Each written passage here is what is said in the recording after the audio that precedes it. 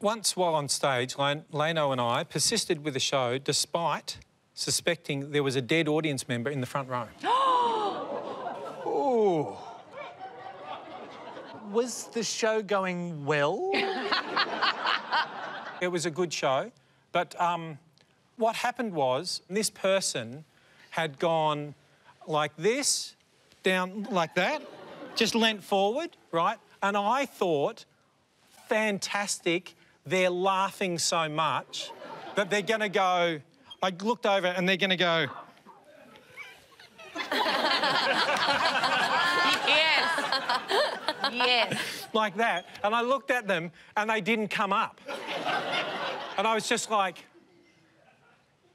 and I just went on with the, with the show for a bit. And then when I checked in the next time, they were still down. And I thought, I think they might have just di- died.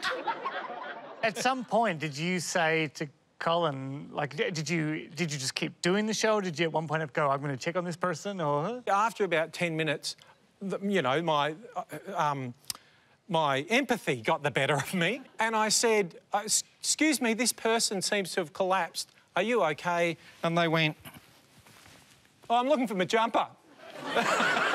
For 10 minutes. Yeah. For 10 minutes. Yeah. That's a long time to look for a jumper. Isn't it? how can, how can you check such a small spot Yes. for 10 minutes? Exactly. Beg your pardon? Well, if, if they bend down, they've got the they can check the space that their arms can reach.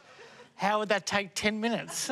What had happened was they'd, um, they'd put their jumper on the floor and somebody had been walking in later and had gotten caught up in the jumper and had kicked it and it had gone more than a seat's worth under. So they were basically, we couldn't see, but they were under there, they're like going, like trying to reach behind the seat to get the. See, the thing you guys don't know is that Lano and Woodley are slapstick, and so is all of their audience. Yeah, it's, you know. That, oh, that reminds me of the time I saw a goat being born, but. Um, but that's another story. Why did the goat have hands? what the hell? It was an artistic interpretation of hoofs. How did the audience respond when you said, I'm sorry, I think this person's not okay, and they sat up and said, I was just looking for my jumper? I think Colin said the thing of going, oh, when I saw you with, the, with your head down, I was hoping you were going to come up going.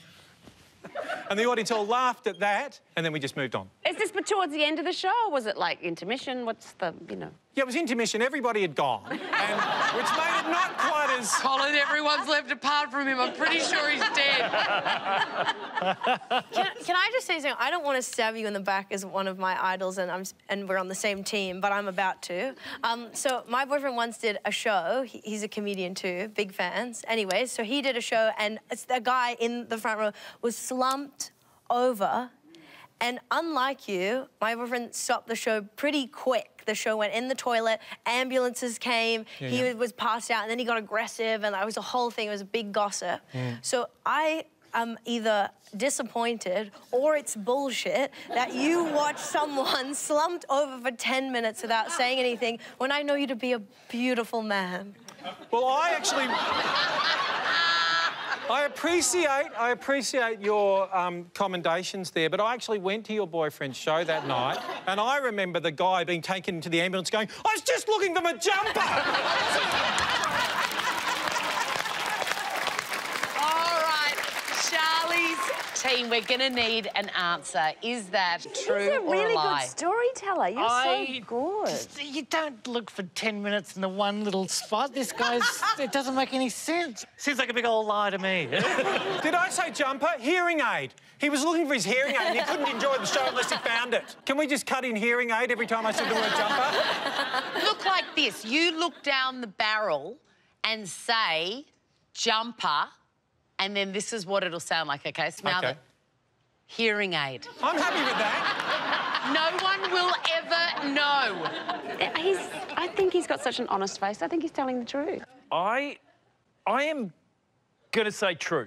I think it's Oh, true. see, they think it's bullshit. if it's true, then Lano and Woodley are horrible, horrible people who don't check on dead audience members. That's what I'm saying. All right. They're saying that it's true. Frank, Well, I'm Is it just true? glad that I'm playing against you guys and not against the audience because it's a lie. Oh! Sorry.